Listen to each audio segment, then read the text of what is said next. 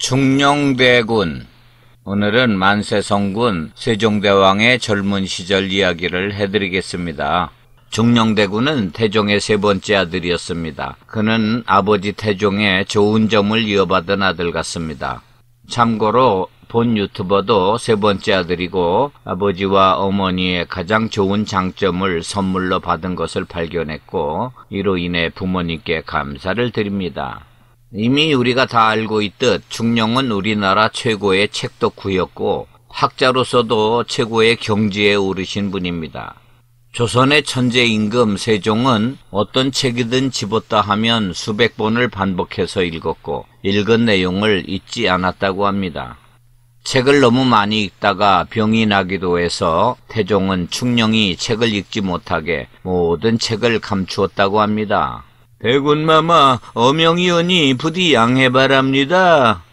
충령은 그의 동생 성룡대군이 홍역에 걸려 사경을 헤맬 때도 의원들과 함께 의학 서적을 뒤져 약을 다려 먹였다고도 합니다.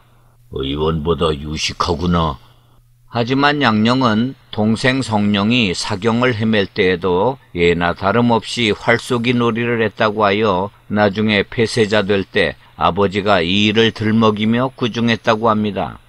오래전 내 동생 성령이 죽어갈 때도 모두가 슬퍼했는데 너만 활쏘기 놀이를 했던 것을 기억하는가? 그게 인면수심이 아닌가? 충령은 음악에도 조예가 깊어 하루는 종묘에서 악사들의 편경 연주 소리를 들어보고 이렇게 말했다 합니다.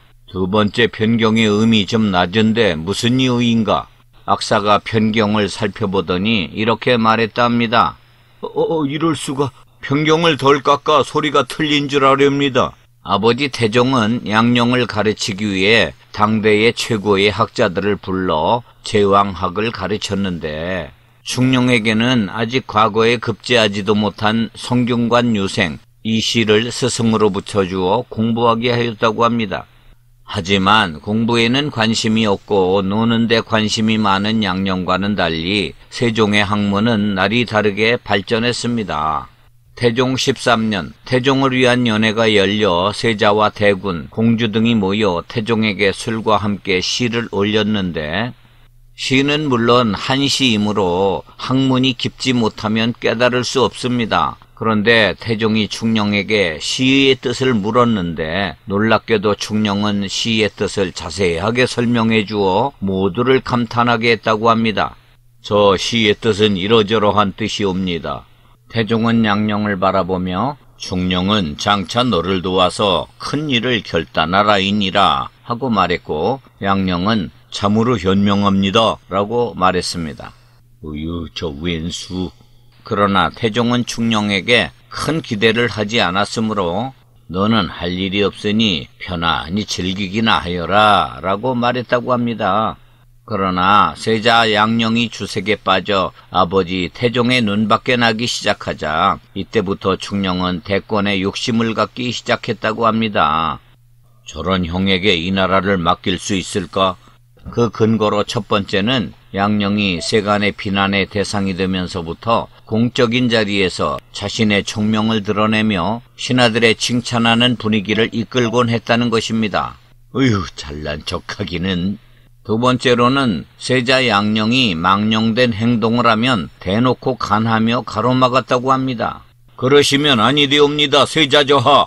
한 번은 상왕전에서 연회가 열렸는데 매형 200강의 기생을 세자가 데려가려고 하자 충령은 세자를 만류하며 꾸짖었다고 합니다. 형님, 한 집안에서 도대체 뭐 하는 짓입니까? 또한 신의 왕후의 제삿날에 절에 갔는데 세자가 한가로이 바둑을 두는 것을 보고는 형님 할머니 제삿날에 소인배들과 어울려 놀다니 뭐 하는 짓입니까? 그러자 양령이 이렇게 대답했다고 합니다. 너는 관음전에 가서 잠이나 자라. 정말 잔소리가 심한 놈이로구나. 그리고 양령은 충령과 맞닥뜨리길 꺼려했다고 합니다. 한 번은 양령이 신하들 앞에서 새로 장만한 새 옷을 뽐내며 자랑하자 충령이 한마디 했다고 합니다. 형님, 옷보다 먼저 마음을 갈고 닦으소서. 이에 열받은 양령이 태종에게 충령의 흉을 보았다고 합니다. 충령은 말만 뻔지르르 하지 심약하기 그지없는 놈입니다. 그러자 태종이 대답했다고 합니다. 중령 그 아이가 겉으로는 유약해도 결단력에 있어서 당할 자가 없느니라. 그리고 충령이 1차 왕자인 한때 죽은 남은의 형 남제를 위해 연회를 베풀었을 때 남제가 이런 말을 했습니다. 일찍이 제가 주상께 학문을 권했더니 왕위도 못 잇는데 학문은 해서 뭘 합니까? 하고 대답하시더군요. 그래서 제가 임금의 아들이라면 누구나 왕위에 오를 수 있지 않겠습니까? 하고 대답했는데 오늘날 대군께서 학문을 좋아하시니 아주 기쁩니다. 많은 사람들이 듣고 있는 상황이므로 충령은 남제를 꾸짖고 영모로서 고발해야 하는 상황이었는데 충령은 아무런 반응을 보이지 않고 나중에 태종에게 보고만 했다고 합니다. 이 말을 들은 태종은 이렇게 말하며 웃으며 넘어갔다고 합니다. 그 늙은이 정말 과감하구나. 그리고 세자가 정종의 부인 정안왕후의 상중에 몰래 대궐을 나가 기생집에서 술을 마시자 충령은 이를 왕께 일러 바쳐 양령을 궁지에 몰아놓기도 합니다. 대비마마의 상중에 이게 무슨 짓입니까 형님? 자기의 잘못된 행실을 고자질하는 충령이 얄미운 것은 양령에게는 당연한 일이었습니다. 충령 내 이놈! 충령은 암암리의 대신들을 자기 집으로 초대하여 주연을 베풀고 자신의 세력을 확보해 나갔던 것입니다. 형제들 간의 고륙상쟁이 벌어질 것을 염려한 원경왕후도 처음엔 충령이 왕이 되는 것을 반대했다고 합니다. 제발 꿈을 버려라 충령. 드라마 대종 이방원에 나오는 명대사가 기억납니다. 충령, 내가 보위에 오르면 넌 살아남기 힘들 거다. 제가 보위에 오르면 형님은 아무 걱정 없이 사시게 될 겁니다. 형의 자리를 빼앗은 대신 목숨은 살려주겠다 이거구나. 이야, 고마워서 눈물이 날 지경이구나. 충령은 어머니 원경왕후에게 자기가 왕이 되면 어떤 일이 있어도 형님을 해하지 않겠다고 맹세합니다. 태종도 임종할 때 충령에게 양령을 잘 보살피라고 유언을 했지만 만일 왕권에 문제가 되면 죽여도 된다는 말을 남겼다고 합니다. 충령대군은 훗날 왕이 된 후에도 부모님의 뜻을 받들어 형 양령을 수많은 대간들의 탄핵 속에서도 보호해 주었습니다. 우리 형님에 대한 상소문은 앞으로 받지 않겠습니다. 뿐만 아니라 시시때때로 형님 양령을 초대해 주연을 베풀고 형님으로서 극진히 대접해드렸다고 합니다. 양령 형님 많이 잡수시옵소서 고맙소 주상.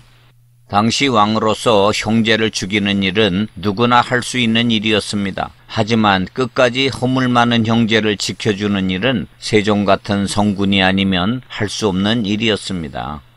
또한 둘째 형 효령대군을 섬기는 일도 지극했습니다. 언제나 국가의 대사에 대해 효령대군의 자문을 얻었다고 합니다.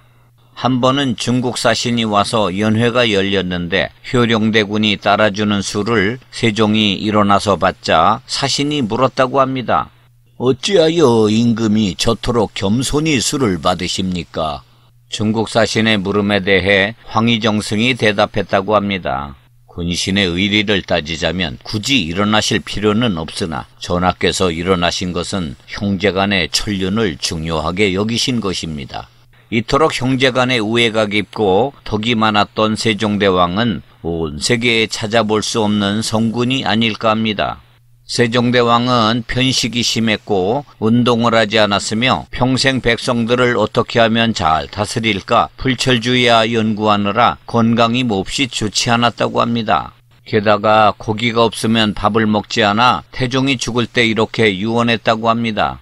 주상이 고기를 먹지 못하면 밥을 못 먹으니 내가 죽은 후에 상중에라도 고기를 먹도록 하라. 하지만 아버지 태종의 유언에도 불구하고 세종은 태종의 상이 마칠 때까지 고기를 먹지 않았다고 합니다. 그의 천재성과 애민정신에 의해 만들어진 훈민정음은 이미 전 세계 석학들이 인정하는 위대한 문자입니다. 오늘날 대한민국이 위대해진 이유는 세종대왕이나 이순신 장군 같은 위대한 선조들이 있었기 때문입니다. 오늘의 영상이 유익하셨다면 좋아요와 구독을 눌러 주시옵소서.